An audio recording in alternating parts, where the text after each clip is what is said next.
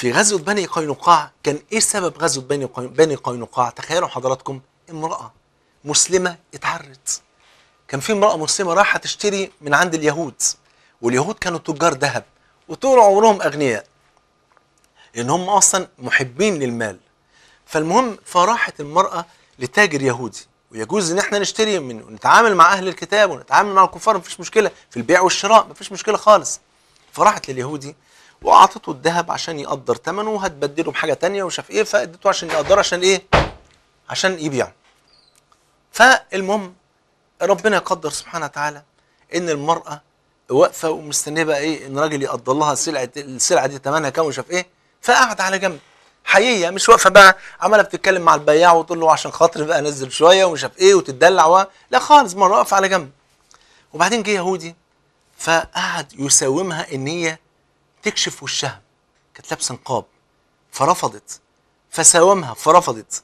فخدعها. وعمل نفسه ماشي وراح من وراها طرف التوب من تحت. راح لضمه كده بحاجة كده زي مشبك كده بطرف التوب من فوق. وهي ما خدتش بالها. قاعدة يا عيني بتذكر ربنا مش واخدة بالها من اللي حصل. فلما الراجل بتاع ال- اليهودي بتاع الذهب ده قال لها خلاص تعالي خدي استلمي حاجتك فقامت فرجليها من ورا اتكشفت. إن الطوب اترفع لأنه شابكها بمشبك. فكان في مسلم غيور الله يرحم الغيرة. فكان في مسلم غيور واقف فشاف المنظر فراح قاتل اليهودي. فراح اليهود اللي في السوق كلهم اللي في السوق كلهم كانوا يهود كلهم بياعين فراحوا قاتلين المسلم. فوصل الخبر للنبي صلى الله عليه وسلم.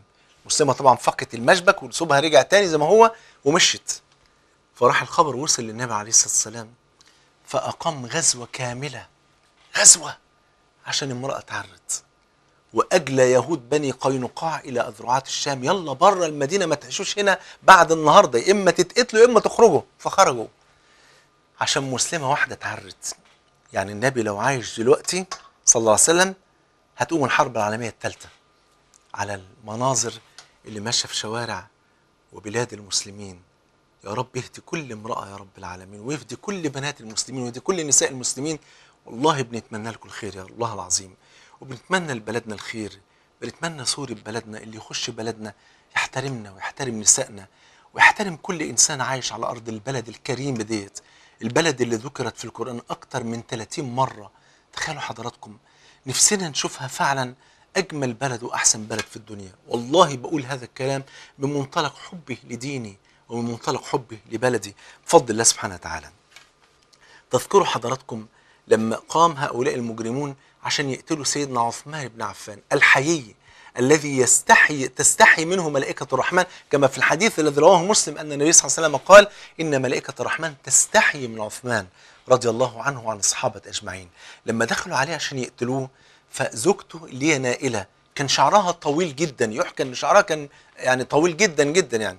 فالمهم فأرادت لما سمعت صوتهم بي- بيخبطوا بيكسروا باب الدار ويدخلوا فأرادت طلبت من عثمان قالت له أسترك بشعري.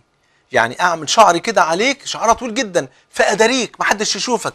قال لا خذي حجابك وخمارك فوالله لدخولهم علي وقتلهم إياي أهون علي من أن يروا خصلة واحدة من شعرك. دي كانت غيرة الرجال في زمان يعني زمان تربى فيه هؤلاء الرجال على يدي النبي صلى الله عليه وسلم.